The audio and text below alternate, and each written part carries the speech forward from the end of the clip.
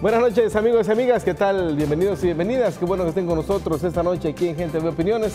Estamos con dos buenas amigas, la licenciada Mirna Benavides, directora de Desarrollo Territorial. Bienvenida Mirna. Y también está con nosotros la licenciada Edna, licenciada arquitecta. Arquitecta. Arquitecta, ¿verdad? Yo sabía. La arquitecta Edna Valles, directora de Desarrollo Territorial y Urbanismo del Viceministerio de Vivienda y Desarrollo Urbano. Bienvenida. Muy buenas noches. Bueno, vamos a hablar de la semana de una semana muy interesante que busca poner el tema del desarrollo territorial en la agenda de los medios, en la agenda del país. Eh, que usted piense en eso, porque vamos a ver ese tema, a mí me parece sumamente interesante. Yo no sé si estoy equivocado y ustedes se van a encargar esta noche de ilustrarnos, de darnos, eh, de hacer un poco de didáctica. Vamos a hacer mucha didáctica esta noche para que la gente comprenda de qué se trata esto. Pero yo lo resumo un poco en que es como ponerle eh, tren de aterrizaje a los planes de desarrollo. Es decir, es ponerle la ruta ya en, eh, marcando puntos estratégicos en el territorio donde tienen que aterrizar todas esas ideas que forman parte de planes, programas, de todas esas ideas que tienen tanto el gobierno central como los gobiernos locales y, y- y todo eso. Entonces, ponerle tren de aterrizaje. Ustedes se van a encargar de decirme si estoy o no en lo cierto y ustedes van a ser testigos de si estoy o no en lo cierto. Pero bien, vamos a iniciar con una nota que nos ha preparado Mario Zelaya, que tiene que ver con la Semana del Desarrollo por la Gobernanza en los Territorios. Veamos, la vemos y nos va a servir como punto de partida, ¿les parece? Correcto. Listo, perfecto. veamos la nota. Muy bien, gracias. La Semana del Desarrollo Territorial fue inaugurada por diferentes actores del Ejecutivo y entidades que trabajan en beneficio de las comunidades rurales del país, que priorizan el esfuerzo en avance de la población. Que estamos interesados en impulsar el tema del desarrollo territorial en El Salvador, elevarlo a la agenda pública y durante toda esta semana vamos a tener diferentes eventos donde van a participar funcionarios públicos, universidades, ONGs, gente de los territorios, organizaciones de mujeres, de jóvenes, sector privado también, hablando sobre diferentes temáticas que tienen que ver con las diferentes etapas del desarrollo territorial en El Salvador. Con este encuentro buscan mostrar las experiencias de las buenas prácticas, gestión del conocimiento y el diálogo entre los diferentes actores del país. Hay actores del gobierno, de los municipios y por supuesto de la sociedad civil que vamos desarrollando iniciativas que se articulan en el territorio.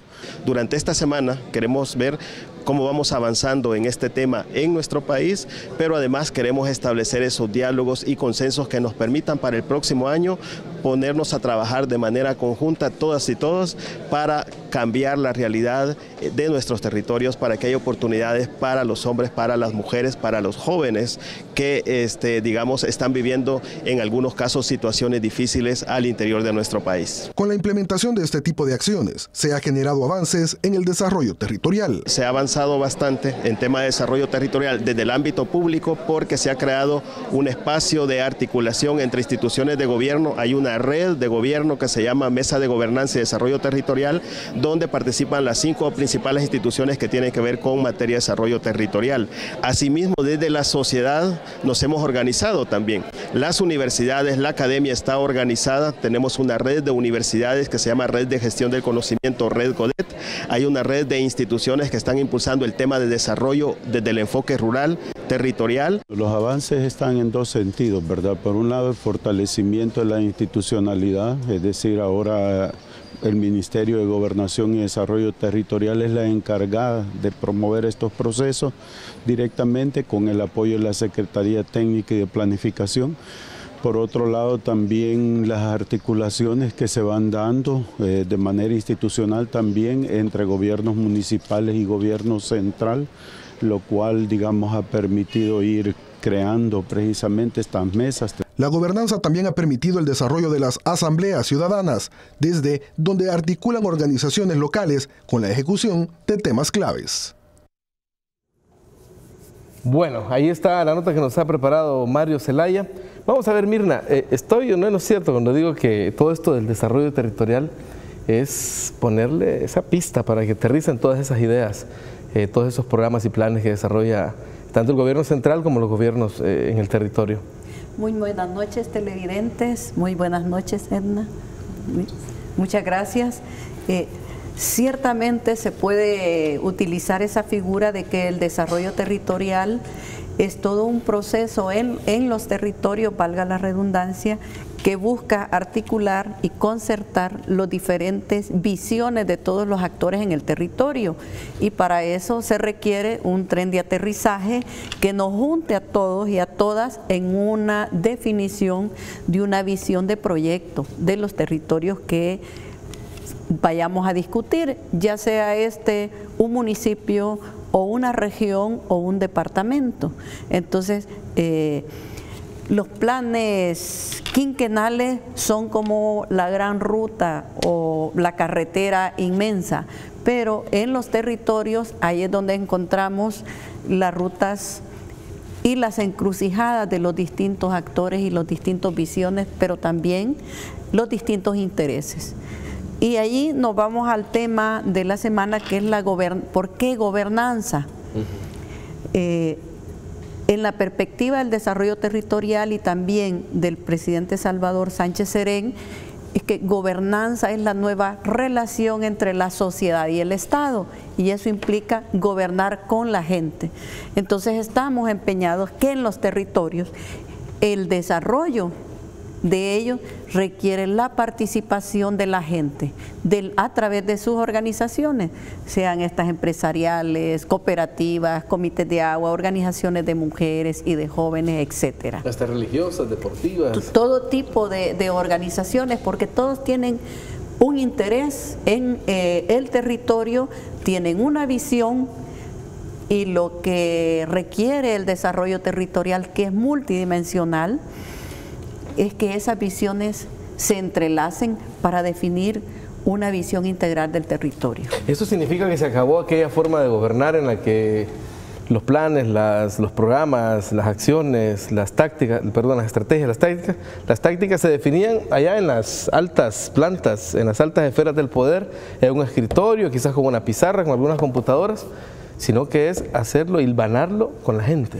Exactamente, por eso hablamos que el desarrollo territorial implica tejerlo desde abajo hacia arriba, porque lo que se ha probado ahora después de tantos años que hablamos de desarrollo de los países y que hablamos mm, de la reducción de la pobreza es que eso no ha ocurrido. ¿Qué es lo que ha ocurrido? Que dentro del Salvador tenemos desequilibrios territoriales. ¿Qué significa? Que hay territorios que tienen mejores índices de desarrollo humano y hay otros que están en condiciones de extrema pobreza. A veces en el mismo municipio, en el mismo cantón. Exactamente, en el mismo cantón encuentra como que son dos o tres países. Eh, al interior del mismo. Entonces, ¿qué es lo que está ocurriendo? Lo que ha ocurrido es que la distribución de los ingresos no ha llegado a los territorios de acuerdo a las necesidades y a las problemáticas de ellos, sino que ha sido distribuido desde un territorio pensando en un interés nacional y no en el interés del territorio. Entonces, lo que buscamos ahora es que los territorios sean actores del desarrollo, sean parte del desarrollo nacional, que no queden al margen de los procesos que se hacen a nivel de país. Entonces, los, los territorios ahora tienen que jugar un nuevo rol y ese rol es que son parte de los procesos de desarrollo. Y ahí los gobiernos municipales mm. tienen un rol relevante e importante y que tienen una nueva vigencia en el desarrollo de los territorios. Ahora, Edna, por eso es que, según veo por acá en las notas que me han pasado, eh, hoy se inició la semana con el tema justamente que es el fundamental, ¿no? El de la participación ciudadana. Eso es, digamos, eh, la, pepita de oro, es el, eje fundamental de todo este trabajo, ¿no es cierto? sí, claro que sí. Muy, muy buenas noches, Mirna, muy buenas noches, Luis. Eh, la participación ciudadana es un bastión importante, precisamente por lo que decía Mirna, ¿verdad? Se trata de darle voz a los que históricamente no han tenido voz. Eh, cómo la política pública, cómo la planificación incluye las necesidades de, las, de, estos sectores que han sido más desfavorecidos y no han tenido una voz al al formular esa política pública. Entonces, eh, ¿cómo logramos eh, hacer ese tejido ¿verdad? dentro de la organizacional dentro de las comunidades para que puedan adquirir ese protagonismo y eso es función del Estado, es función del Estado, es función de los gobiernos locales, el poder facilitar que esa voz sea dada a los que más lo necesitan. Y ahora hay más mecanismos para esto. Claro que sí, en eso hemos estado trabajando. Bueno, Ministerio de Gobernación ha estado trabajando muy fuertemente en el tema de la creación de las asambleas ciudadanas territoriales. Eh, desde el Viceministerio de Vivienda y Desarrollo Urbano hemos estado trabajando también mucho en el tema de fortalecer las capacidades de los gobiernos municipales para que puedan... Eh, echar a andar estos mecanismos de participación eh, que existen en nuestra legislación, más sin embargo no han sido eh, utilizados eh, de la manera en que deberían de hacerse, ¿verdad? Entonces de eso se trata. Sí, justamente estábamos hablando la semana anterior con el, representante residente del PNUD y con, el, con uno de los responsables del programa eh, el Plan Salvador Seguro, de, la directiva del Consejo, y nos decía que han tenido, imagino que es parte también de esto que están haciendo ustedes, cuando me mencionas que las alcaldías a veces les cuesta, ¿verdad?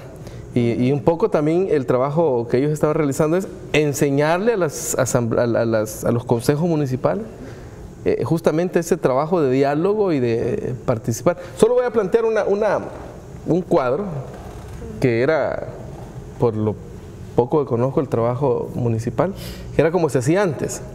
Llegaba un partido al gobierno y aquellos que formaban parte de la directiva, que venían de tal o cual cantón o de tal o cual barrio, eran quienes integraban el equipo de apoyo de la alcaldía y los demás salados, porque no les llegaba la distribución, digamos, no, no les llegaban los proyectos, las obras, sino para quienes habían andado impulsando la campaña.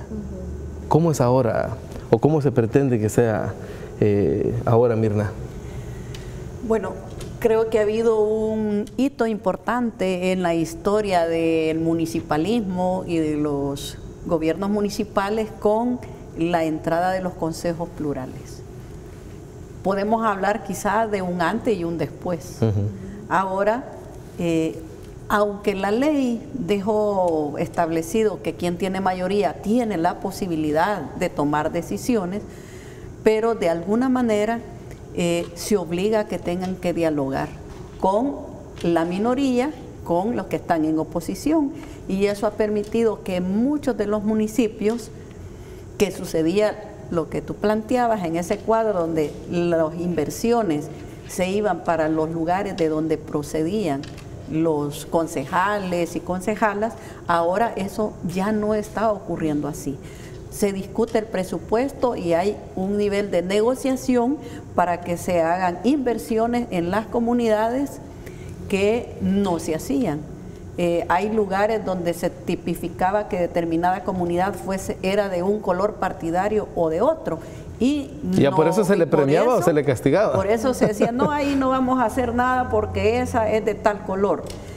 Cuando eh, eso no debe ser así, porque en todo caso un gobierno municipal es el gobierno de todo y todas, hayan votado o no por, por, esa, por ese consejo municipal. Entonces ahora ese es un cambio trascendental y yo creo que esa es una esperanza para las organizaciones en los territorios, porque eso permite un nivel de incidencia donde eh, el radar, digamos, de impacto del Consejo Municipal es mayor que el que tenía anteriormente. Entonces, digamos que ese es un, una piececita más en la democratización de los procesos de desarrollo en los territorios.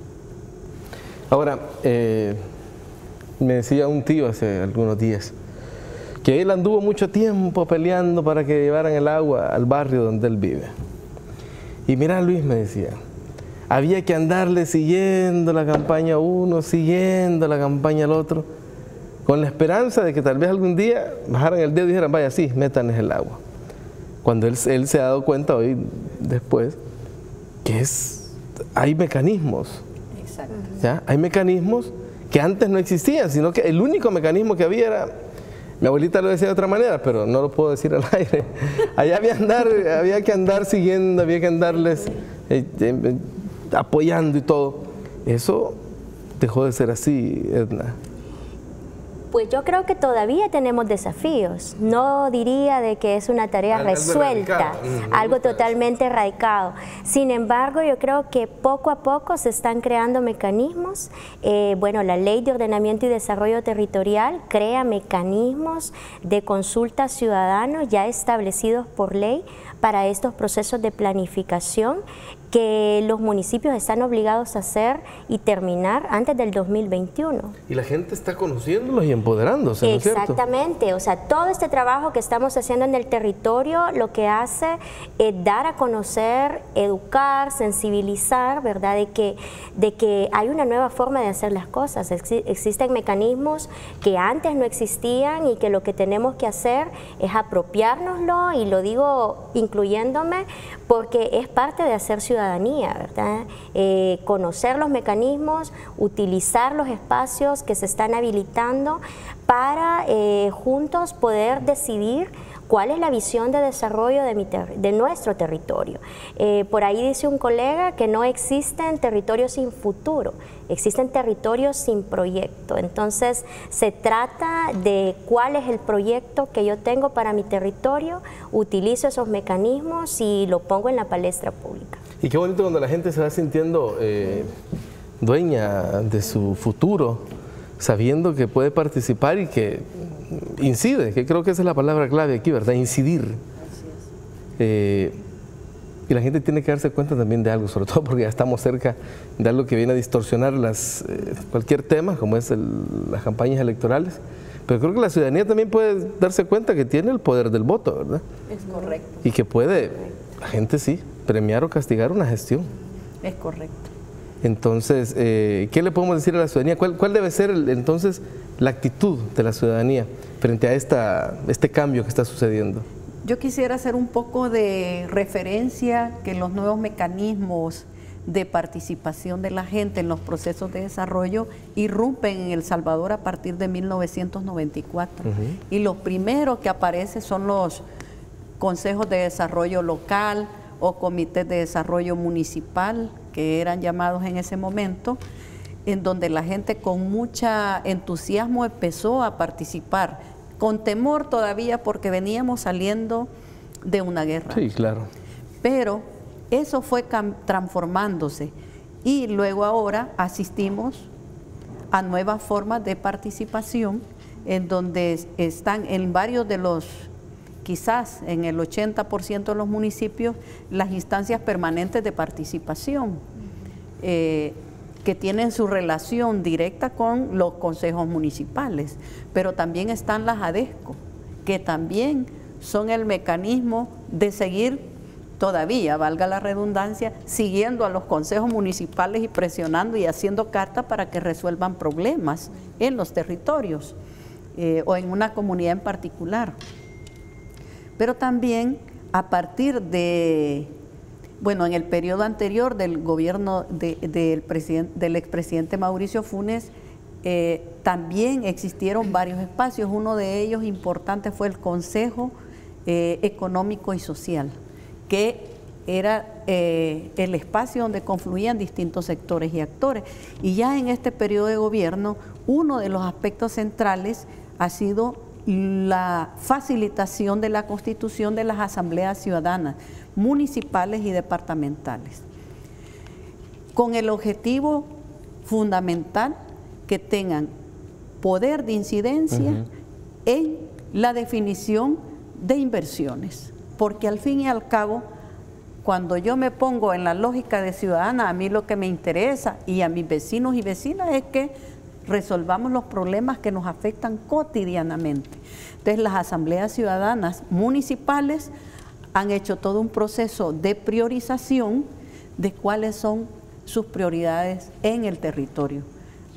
alguien me dijo hace poco, sí, pero esas son inversioncitas pequeñitas. Bueno, resulta que la inversión pequeña para una comunidad es el sueño más grande que ha tenido a veces en 15 años. No, ¿cómo le cambia la vida a una gente, a una comunidad cuando se le pavimenta la calle, cuando se le construye el puente? Exactamente. Entonces, pero también ha habido un proceso en donde las asambleas ciudadanas departamentales han hecho un nivel de priorización más desde una visión microregional o departamental. Que eh, hoy estamos en proceso de discusión con los gabinetes de gestión departamental, que son la institucionalidad del Ejecutivo en el territorio. Pero ¿a qué voy? Que estamos creando como sociedad una nueva forma de relacionarnos entre el Estado y la sociedad. Ya no solo de esperar a que me den, Exactamente. sino a qué hacemos. Sino desde una visión de dignificación en donde la ciudadanía somos protagonistas de los procesos y no solo nos quedamos esperando que resuelvan eh, las instituciones de gobierno, también en la lógica que el desarrollo territorial implica asumir desde la sociedad, las instituciones de gobierno, la academia, Sí, al final todos y todas por somos qué no responsables. decirlo, los medios de comunicación, corresponsabilidad en el desarrollo. Bueno, vamos a tener que hacer una pequeña pausa. Tenemos importantes mensajes para ustedes, pero cuando regresemos, me gustaría que fuéramos uno a uno con los temas que aborda eh, la semana. Eh, hoy se inició con los temas que tienen que ver con la participación ciudadana, pero tenemos gestión y planificación de los territorios, tenemos, bueno, los mecanismos de financiamiento. Eh, déjenme ver qué más, aquí lo tengo a la mano. Tenemos cambio climático. Eh, adaptación al cambio climático, que es algo tenemos la fundamental. asociada. Y por supuesto los desafíos, ¿verdad? Es que ahí es donde empieza eh, a tomar pues vuelo todas aquellas ideas que contra las que hay que trabajar o a las que hay que sumarse, mejor dicho, para, para ir superando retos. Una pausa y venimos con más.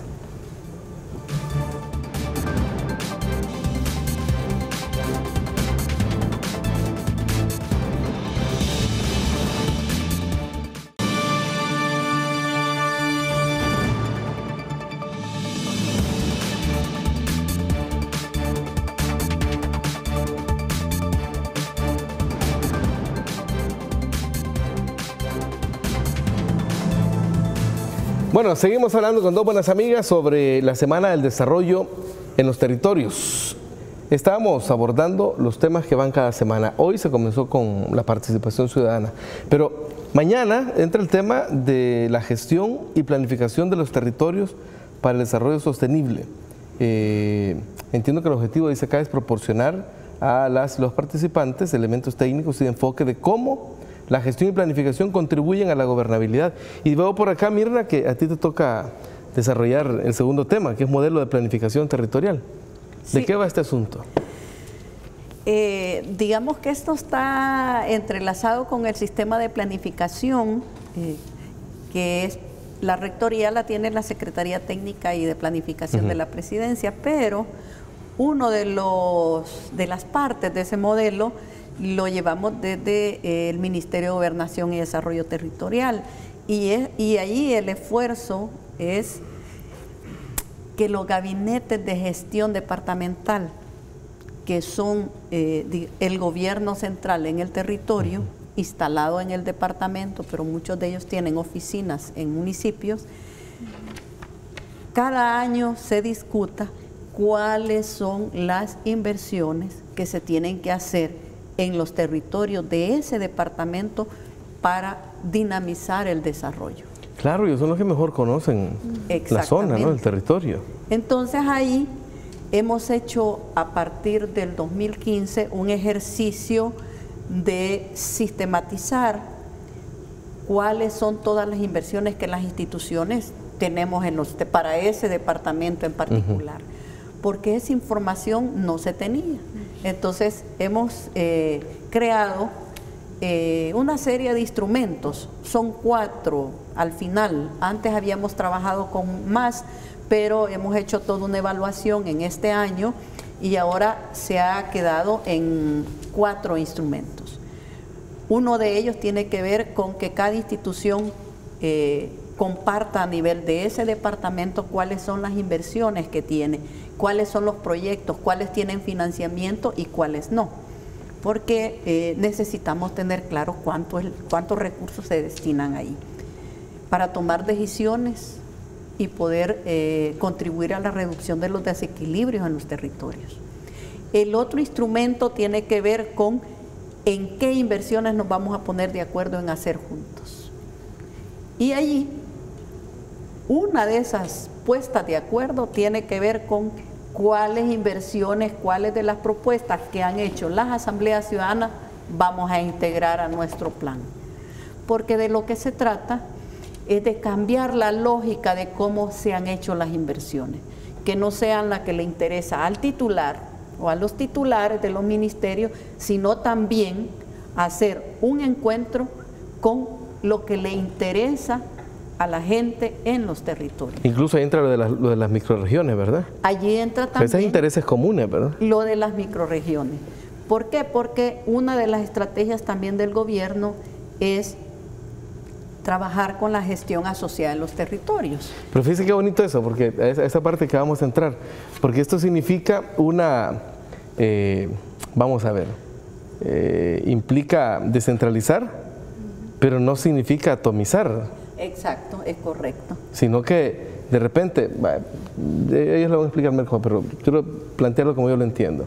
De repente hay tres municipios como estos que están aquí sobre la cordillera del Bálsamo, por ejemplo, que tienen características similares, que producen productos similares y que en lugar de estar haciendo las inversiones en cada eh, finquita, digamos, en cada eh, municipio, digo, unidos somos más fuertes, ¿no? Exacto, esa es la lógica. ¿Es así? Es la lógica. Ahora, entiendo que ya hay casos de éxito. Sí, por supuesto que sí. Hay varias experiencias de gestión asociada a los territorios en diversos temas. Yo voy a mencionar algunos relacionados, eh, por ejemplo, con la gestión del desarrollo económico local, justamente en la microrregión del Bálsamo. Ahí se ha hecho, su especialidad es toda la gestión del desarrollo económico local en esa microrregión y ahí han promovido eh, las fincas, las fincas que sean, eh, que sean espacios como corredores y encuentro entre turistas, en donde hay café, pero también hay artesanía, pero también hay eh, medio ambiente, pero también hay paisaje. Entonces, se, han, se ha buscado como un corredor y una serie de inversiones que se hacen en una lógica de un todo, no como inversiones eh, dispersas. Porque no toda inversión local juega para el desarrollo territorial. Las inversiones en los territorios que juegan para el desarrollo son las que están articuladas y tienen un sentido de dimensión territorial, pero con una mirada alta de la microregión, del departamento y del país. A mí me da mucho la atención eh, justo esa microregión porque mi abuelita, de parte de papá, es de Chiltiupán, ella era de ah, Chiltiupán. Entonces, yendo a conocer ahí el municipio de mi abuelita, pues me enteré de todas estas cosas que, que, suceden. y es bien interesante. Ahora, ¿cómo lograr eso, Edna? ¿Cómo lograr esa conectividad, esa... Eh, porque luego ah, siempre han existido eh, celos históricos, ¿verdad? A veces eh, cada quien queriendo solo desarrollar su, su, zona. y ¿Cómo lograr esa articulación? Poco a poco, Luis. De hecho, yo creo de que a veces esas divisiones las vemos nosotros más acá arriba, pero sin embargo en el territorio, cuando los problemas se dan, los problemas son comunes y esos son los que unen. Y te pongo ejemplos. Eh, por ejemplo, el caso de los nonualcos, yo siempre lo traigo a colación. los nonualcos es una asociación que nace con el fin de reconstruir tras los terremotos del 2001. Fue una problemática común la que los unió en su momento. en su momento eran apenas cuatro o cinco municipios los que estaban asociados. Eh, sin embargo, a la fecha hoy ya son 16, 19 que están asociados y eh, hemos trabajado para poder incluir incluso más fines a la asociación de ellos, ¿verdad? Entonces, yo creo de que en el territorio, o sea, cuando los problemas son comunes y se dan, eh, se olvida todo eso, ¿verdad? Entonces vemos eh, municipios del Bajo Lempa, por ejemplo, trabajando muy en conjunto cuando se dan eh, los desbordes, ¿verdad? Del río Lempa, ¿verdad? Entonces eh, yo creo que es parte de la maduración política del país, ¿verdad? Bueno, eh, actualmente... Y muchos, perdón, y muchos de esos municipios gobernados por diferentes partidos políticos. Gobernados por diferentes partidos políticos y que varían en diferentes periodos electorales, sin embargo las asociaciones trascienden eh, esos cambios políticos y eso es bastante interesante. Bueno, eh, como viceministerio de Vivienda nosotros hemos estado promoviendo mucho la gestión asociada eh, y uno de los factores de éxito que nosotros le vemos es precisamente eso, ¿verdad? Cómo han podido sobrevivir eh, cambios políticos eh, han ido desarrollándose y construyendo sobre lo construido, ¿verdad? Y yo creo que son una herramienta eh, que es clave seguir potenciando. Esas son las experiencias que hay que emular en otros municipios. Vamos a ver, al siguiente día tenemos, bueno, algo que es fundamental para cualquier plan de desarrollo, son los mecanismos de financiamiento y estrategias de inversiones para el desarrollo de los territorios. ¿Qué nos puedes decir de esto, eh, Mirna? Bueno, quizás eh, en, esencia, cuando se habla del financiamiento del desarrollo de un país, del desarrollo territorial, siempre hay en el fondo una gran pregunta. Primero, ¿quién va a financiar el desarrollo de los territorios y el desarrollo del país? Y segundo, ¿cómo? el Estado en esencia tiene un mecanismo de financiamiento del desarrollo y esos son los impuestos.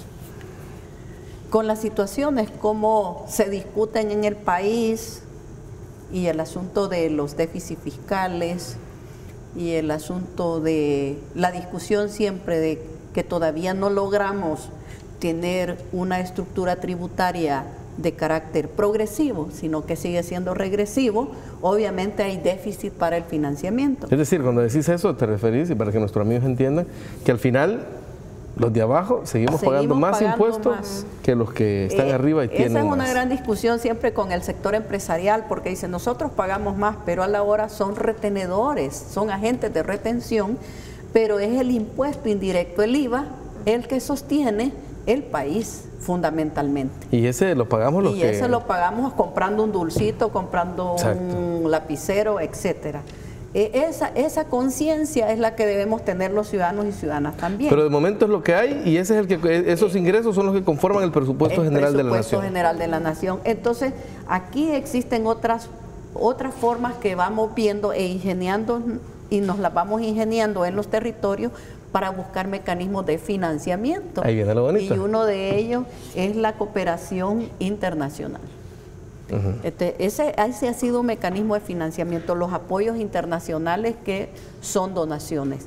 Pero hay otros que se han estructurado más en el territorio, que son más de carácter local, que son los aportes de las mismas comunidades, que poco se menciona como mecanismo de financiamiento, pero las comunidades aportan mano de obra, a veces aportan materiales. Esos también son mecanismos de financiamiento que poco contamos porque no están visibilizados en las cuentas nacionales.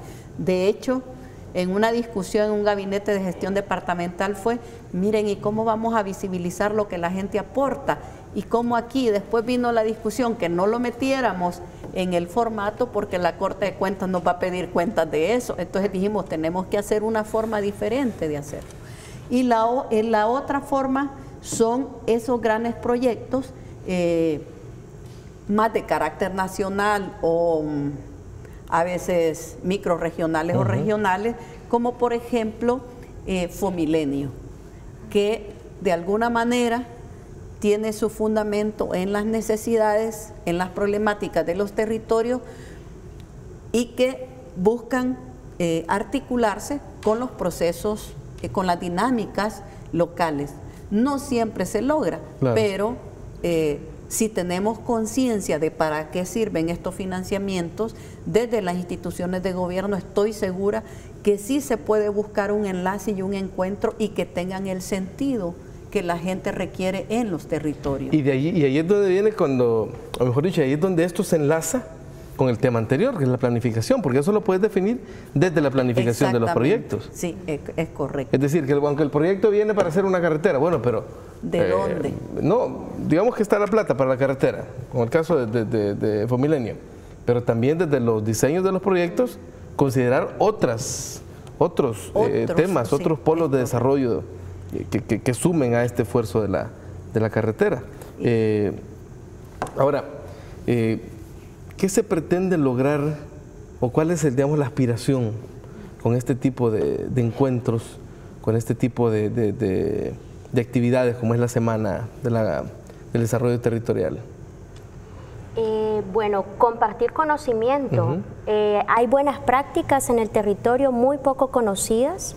Como estas experiencias de las que Como estas ustedes experiencias, correcto. Igual, eh, desde lo municipal se han trabajado en sistemas de compensación que muy poco se conoce.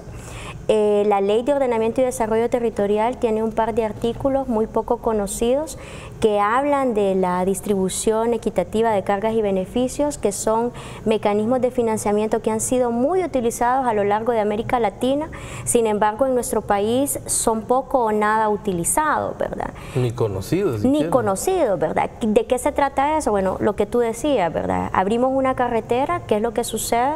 Todos los terrenos situados alrededor o a lo largo de esa carretera adquieren una plusvalía o un aumento de valor producto de esa intervención que ha hecho el Estado muchas veces a través de un préstamo que pagamos todos, pero que sin embargo el beneficio del plusvalor lo obtienen únicamente los que tienen terrenos situados a lo largo de la carretera.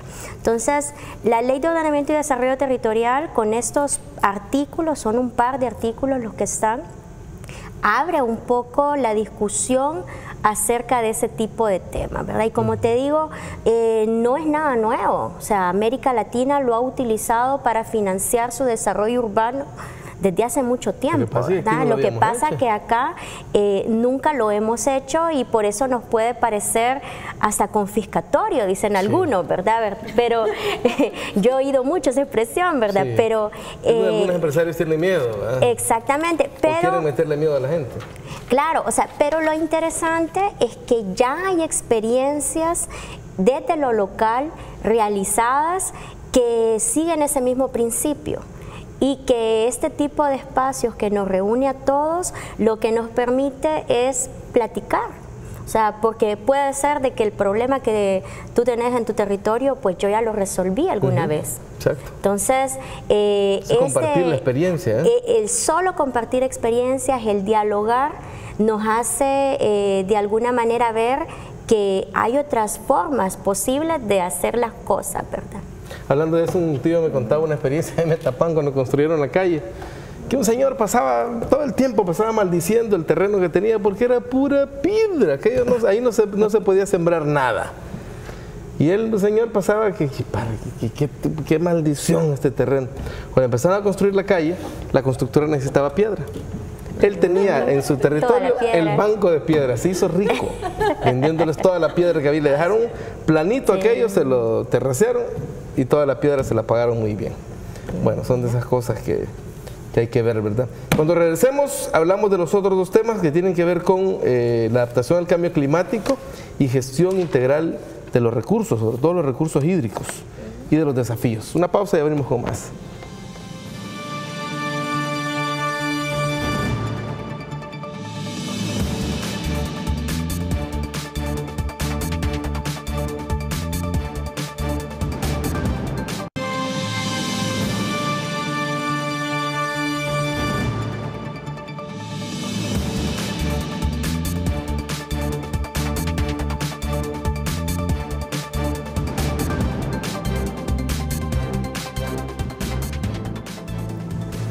Seguimos hablando con dos buenas amigas sobre el desarrollo territorial, porque hoy inició la Semana del Desarrollo Territorial.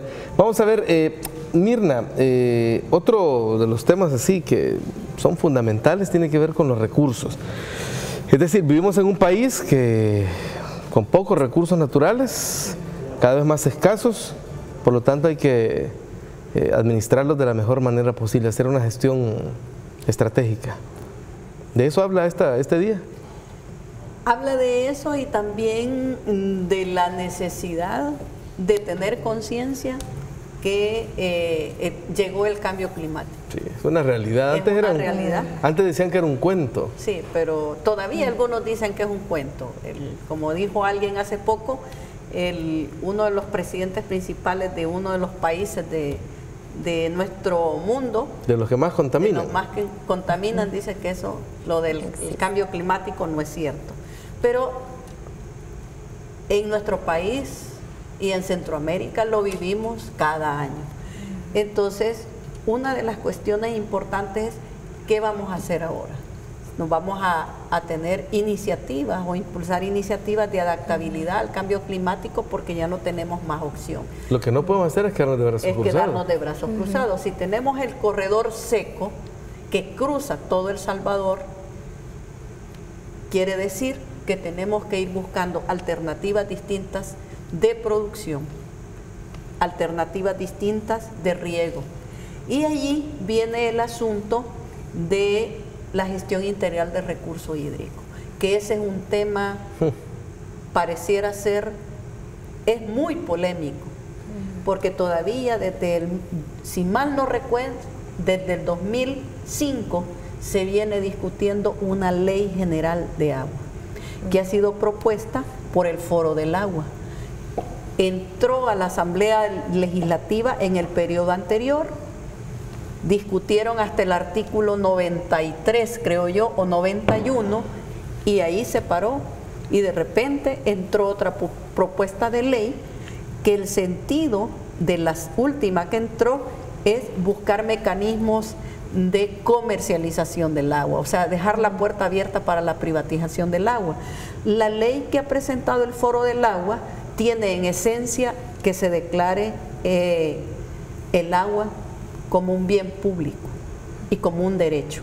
Y eso es una manera de blindarla. ¿no? Es una manera de blindarlo y de garantizar que se tenga agua para las generaciones. Cuando una ve el mapa del uso del agua, varios departamentos, a- por ejemplo, últimamente estuvimos viendo el de Sonsonate.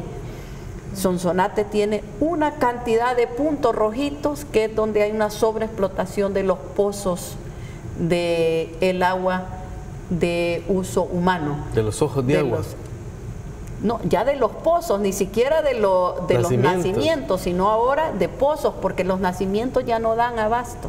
Ahora ya se hace un Está más pozo. lejos del agua. Está más lejos, lejos el agua. Y otra cosa, por ejemplo, que, que vimos en la región occidental, es que la mayoría de agua está entre regular, entre mala y regular. Y el agua buena realmente solo encontramos casi como en dos departamentos.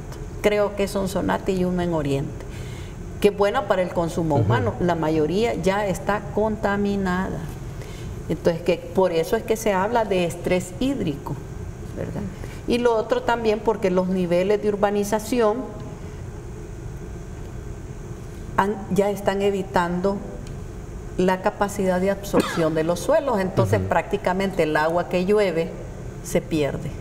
Se va simplemente nuevamente a las cloacas o a los ríos, que dicho sea de paso están todos contaminados. Con el agravante de Mirna, que he leído por ahí que hay lugares donde eh, se sabe que hay comunidades que no tienen agua, pero hay hasta campos de golf Exacto. que basta Exacto. entrar a internet para saber cuál- que gastan cualquier cantidad de agua solo para mantener aquella grama bonita para que unos cuantos seres humanos vayan a jugar golf. Ahí hay una mala gestión del agua. Exacto, por eso es que se está hablando de que es necesario aprobar la ley del agua para garantizar la gestión integral del recurso hídrico, no solo del agua potable, sino de todo el recurso. ¿Por qué? Porque eso implica el agua para el riego, agua para el consumo humano, agua para los animalitos. Entonces, y además hay que discutir qué es prioritario, si es el agua para el campo de golf o las piscinas, porque ahora se están haciendo enclaves, ciudades como enclaves, que eh, de eso no sé mucho, de eso sabe más Edna, pero lo que yo sí veo es que están haciendo colonias encerradas y ofrecen piscina. Y tienen piscina. Como plus. Como plus. Pero las comunidades, y ese caso se dio aquí en la cordillera del Bálsamo, en donde ahí se, se- hay un, un campo de golf y resulta que el acuerdo era, habían más de 2.000 eh, como acometidas de agua para las urbanizaciones, pero para las comunidades no. Ahí hubo mucha presión y las comunidades lograron sacarle un poquito, eh, un compromiso para que se llevara agua a las comunidades. Entonces, Pero a base de mucha lucha. de mucha lucha, mucha presión de las comunidades organiza- organizadas de esa zona. Entonces, eso lesiona el desarrollo de los territorios porque resulta que estamos llegando con casas grandes, inmensas, y la comunidad queda ahí. Entonces, ¿qué ocurre con la externalidad del desarrollo? Esas casas son desarrolladas, pero la gente que vivió allí desde antes y de siempre queda en condición eh, de desventaja. Ahí es donde vengo y recapitulo los cuatro días. Eh, si la gente participa, si la gente eh, participa en la planificación, en la gestión de los recursos financieros, digamos, y en la gestión estratégica de los recursos naturales, podemos hacer que ese tipo de cosas no sucedan. Exactamente.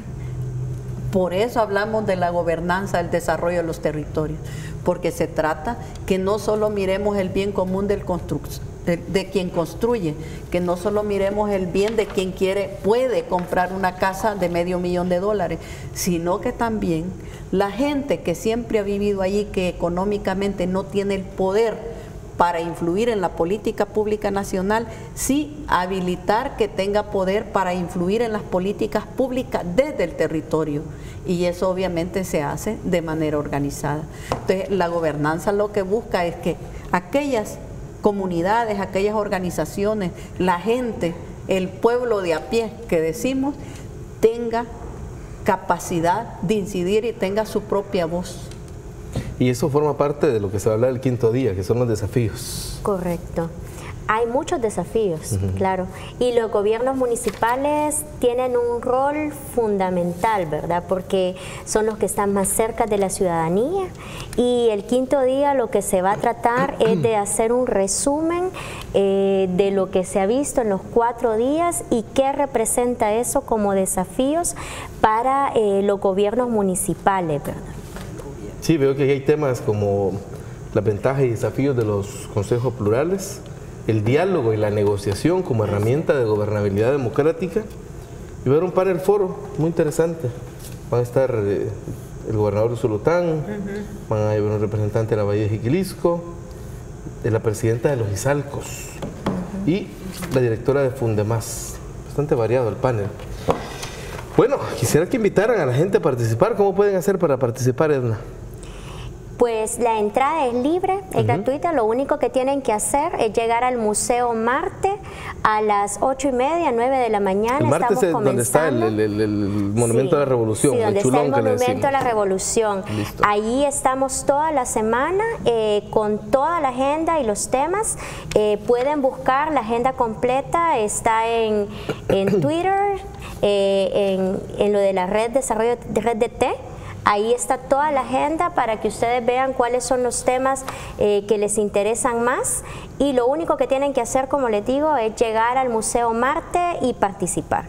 Y participan muchas organizaciones, entiendo, Mirna. Sí, participan muchas organizaciones. De hecho, este día hemos tenido casa llena. ¿Sí?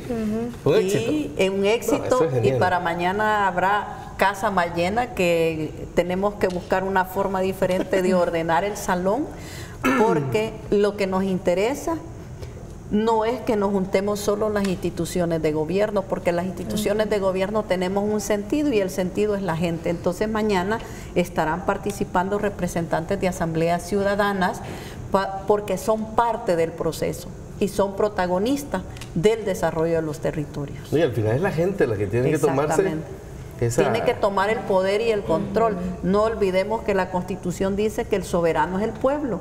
Por lo tanto, es el que tiene el poder de incidir en los procesos de decisión, pero también de dar premios y castigos en las elecciones. Y que se acabe eso de que solo nos llaman para votar. Es no, correcto. yo creo que los ciudadanos podemos participar todo el tiempo. Así y es. ahora hay más mecanismos. Bueno, antes no había mecanismos, mejor dicho.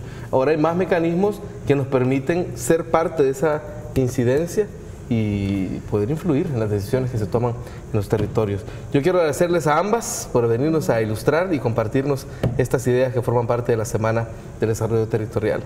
Edna, Muchas gracias por la invitación. Edna. Muchas gracias Luis, muchas gracias televidentes por escucharnos y bueno, estamos siempre para poder servirles y ahí en el Ministerio de Gobernación y Desarrollo Territorial, desde la Dirección de Desarrollo Territorial, de- desde nuestro ministro Aristide Valencia y viceministra Daisy Villalobos, estamos para servirles en estos procesos de desarrollo en los territorios. Bueno, hoy que me acuerdo, eh, mañana hay simulacro de terremoto, ¿verdad? Es correcto, sí, a las 10 de la mañana. A las 10 de la mañana va a temblar mañana, ¿verdad? Porque todos tenemos que participar en ese simulacro para poder prevenir. No se trata de aler- alertar, ni alarmar, ni mucho menos. Se trata de que todos estemos eh, preparados y pendientes que aquí es el Valle de las Hamacas y en cualquier momento va a temblar. Miren, en México hicieron el simulacro a las 10, 11 de la mañana y a la 1 tembló. ¿Mm? Hay que estar preparados. Cuídense y quédense con la promoción de Gente B porque hay más para todos y para todas. Pasen buenas noches.